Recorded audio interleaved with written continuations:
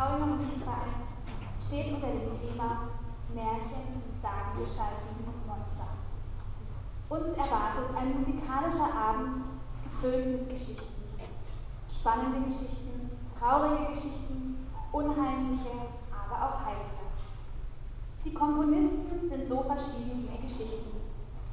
Robert Buckley ist Engländer, der in Kanada aufwuchs.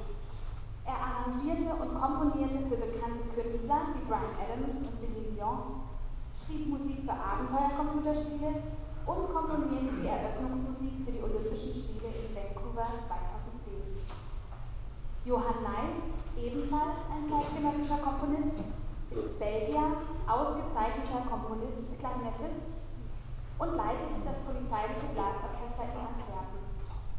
Sören Hildgard ist, ist Däne und im Filmmusik Josef Pesky stammte aus Mähren, studierte in Wien und nahm zu Beginn des Ersten Weltkriegs die ungarische Staatsbürgerschaft an. Er wurde Staatskapellmeister der ungarischen Nationalarmee und schrieb bevorzugt Musik für Blaskapellen.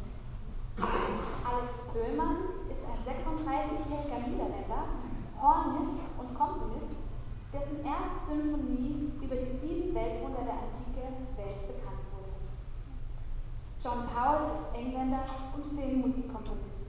Er schrieb unter anderem die Musik für Mr. und Mrs. Smith, Kung Fu Panda, Shrek, Ice Age und PS Music. Robert Sheldon zuletzt ist ein US-Amerikaner und leidenschaftlicher Lehrer. Er unterrichtet Dirigieren und Musikerziehung. Er komponiert und fördert vor allem Schul- und Universitätsorchester. So verschieden die Hintergründe dieser Komponisten auch sein mögen, sie alle wissen genau, dass gute Geschichten gute Musik brauchen. Heute mehr denn je leben gerade Filme, Geschichtenerzähler unserer Zeit, vor allem von ihrer Musik. Die großen klassischen Geschichten wurden in allen Jahrhunderten durch alle Medien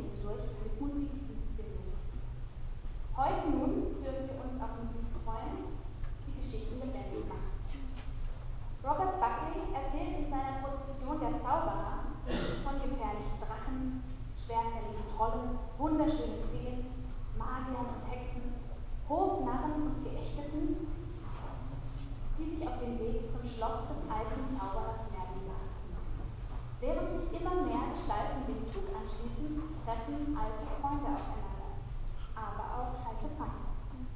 Es gibt Hindernisse auf dem Weg und die Spannung steigt, ob sie alle